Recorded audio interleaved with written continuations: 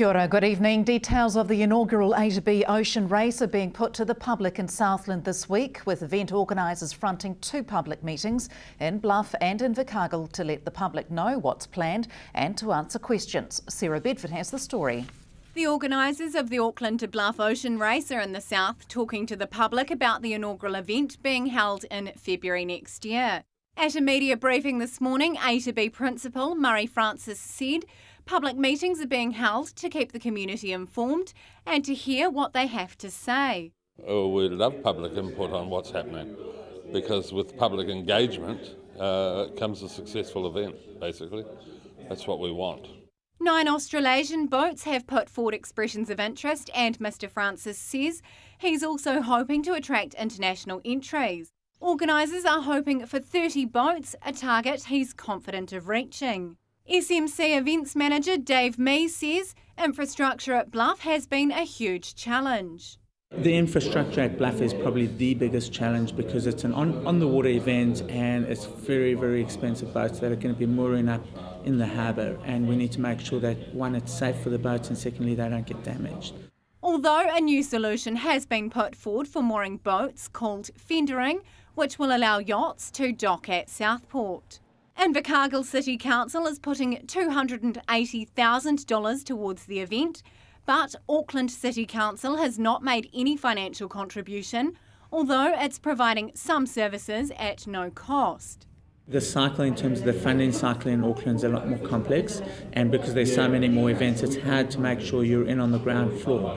Um, we've certainly been given the indication that they do want to support it and they, they would be interested in putting funding in, in the future. Um, the second part to that is that um, we expect most of the corporate funding to come from the Auckland region. And lastly, the costs of being in Auckland in terms of the race start are nominal versus the cost of being here. Program Director Craig Suso says the event will have economic benefits for the province. He says a festival is also planned to coincide with the conclusion of the race, which should draw people from outside Southland and Otago. We see the bluff side of things being really family orientated, so activities both on the water and on the land. On the water, um, involving the Bluff Yacht Club and Yachting New Zealand, have a go sailing. Um, and other things on the water that we, might be able to put down there that can be you know a regular feature over that five, six, seven days. On the land, things that um, excite families around the region to want to come and check out. So all that stuff happening in Bluff, and then working with other organise, organisers in Bluff to enhance that festival down there, and then with organisers in Invercargill around what other activities you can put together as a, a big festival package that will attract people from outside the region. A lot of the festival costs are accounted for in the current budget, but more may be needed from those who take part in the festival. A lot of that festival stuff's already budgeted for. It's in our budget at the moment. Um, in terms of partnering with other organisations, it's, it's, it would be up to them, you know, how they would see benefit to us working co collaboratively to have a, a larger festival that other people would want to come down to check out. A public meeting on the race is being held in Invercargill at the Civic Theatre at 5:30 this evening. Sarah Bedford, South Today News. The future of Solid Energy's briquette processing plant at Mataura near Gore remains uncertain, but an announcement is expected this week. The recently commissioned $25 million plant, plant is one of several of the debt-laden state-owned enterprises' assets under review. Solid Energy, which has almost $390 million in debt, had intended to form a joint venture with Australian company GTL Energy to manage briquette production at the plant. Staff were consulted about transferring to the company company's New Zealand subsidiary, but now the future of the plant remains uncertain. In a bid to reduce debt, the company is selling around 3,500 hectares of resource-rich land in the area with several decades of supply for conversion technologies, including making urea fertiliser.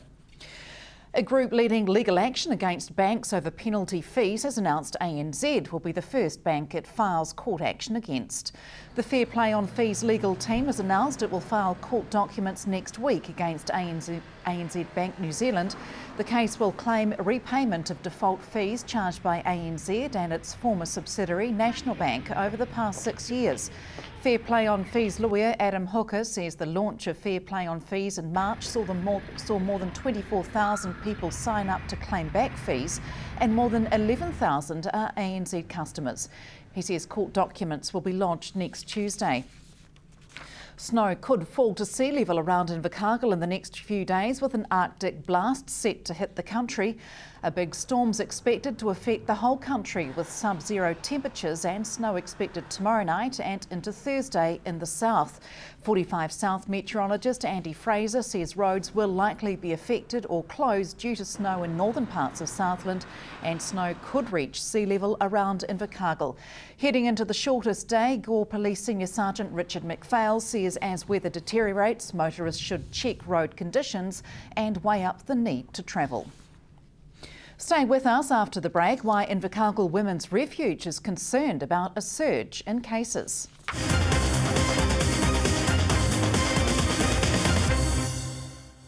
Welcome back. A surge in the number of cases relating to the synthetic cannabis product K2 is causing concern at Invercargill's Women's Refuge. Sarah Bedford spoke to coordinator Kathy Robertson about the rise in cases. So a lot of the people that have contacted us, um, it's been with partners and other family members, have been hugely affected um, by the use of K2. How concerning is that for you? It is really concerning because the violence has got worse and the people are saying that their partners and family members, like usually they can sometimes talk to them and you know calm them down a bit, but they can't do that. They can't seem to get through to them at all. Now this seems to be a growing problem that you're seeing. It has been of late, yes. I'd say in the last six weeks, two months, we've seen a huge um, increase in the numbers of um, women that we've had come through that have been affected by this. Now, what kind of uh, impacts do do you see uh, the drug having on, on the people who are coming in for help? Um, but the violence has increased um, and financial pressures. Yeah, there's a lot of money being spent on it, um, and you know the people are saying that you know they're pinching stuff to go and pawn it and that as well if they can't get the money on the cash.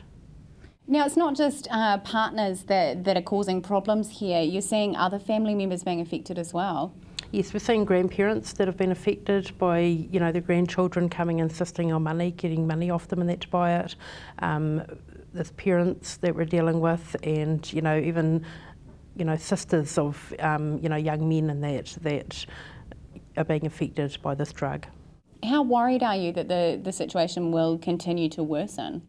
It is really worrying, um, and it's so easy for people to get hold of. That's the you know that's the really hard thing, and um, you know people think, oh well, it's legal, so it's it's fine. We can you know, it's fine to have it, so we can. Is it adding extra pressure for you at Women's Refuge? Yes, it has certainly brought in a lot more cases, and for some reason, just of recently. Now, is there anything that you're doing or that you can do or hope to do to try and address the issue? All we can do is be, you know, trying to work closely with the police and that to help the people that we're dealing with. A new roundabout designed to increase safety at the eastern entrance to Invercargill is close to completion. The $850,000 project is largely completed and is expected to reduce the crash rate at the intersection of Tay and, Racecourse and Rockdale roads. Simon Underwood from the New Zealand Transport Agency says there have been more than 40 crashes at the intersection in the past decade, with nearly half of these causing injury. Work including footpaths, landscaping and car parking at nearby shops is expected to be completed in the next two weeks. More than 600 women from Whangarei to Bluff have descended on the Ascot Park Hotel for the New Zealand Federation of Women's Institutes 92nd Annual General Meeting. I spoke to National President Jeanette Andrews about the Institute and how it fits in today's society. We're probably a lot older age group than what um, were at the beginning. Although, in saying that, uh, we are now trying to get evening groups set up for younger women and the working woman to be able to participate in our organisation. What um, sorts of things would people get out of joining a group like this? Certainly learn skills through leadership and craft and um, really anything that they would like to learn, we, we do have the skills in our organisation. Have you found in more recent years that there's been a need for teaching these skills to women, younger women? There is a need out there, and some women are asking, some of the younger women are now asking for help from our members. So that's why we're getting some younger ones joining with our elder women to um, get that experience. Can you give us some examples of what types of things they would be, what information they're sharing? Well, just a simple thing like we've had a, a request for somebody to teach them how to read a crochet pattern, um, how to make a decent sponge, how to make a decent casserole. Um, everyday things that are everyday to us, but to the young people, obviously they haven't had those same teaching skills that we did. Do you think that can be put down to the fact that um, the, the, perhaps generations have, have been working now and, and those skills are being lost? Absolutely, yes, it is down to the working. I think working mothers don't have time now. They rush home from work and have got family and gym and take the children everywhere, so there's just no time, not like it was years ago. What sorts of changing outlooks or aims have you created over the last um, perhaps 10 years in this group? We are trying now to lobby the government um, of the day of issues that we um, strongly believe in. We did have a little say in the, um, the grandparents receiving payment for looking after grandchildren. Us, along with other organisations, had a say and put in our protest on that one. We've put in a submission for the postal services. We're a little bit concerned about the uh, rural people missing out on um, on their um, deliveries and things. And we are at this currently watching the hospital food service that they're trying to centralise. We are actually watching to see what's going to happen with that because we will be voicing our disapproval on that one. And that's it from the news team. Coming up in sport, the Southern Steel travelled to Perth to take on the fever. From the news team, good night.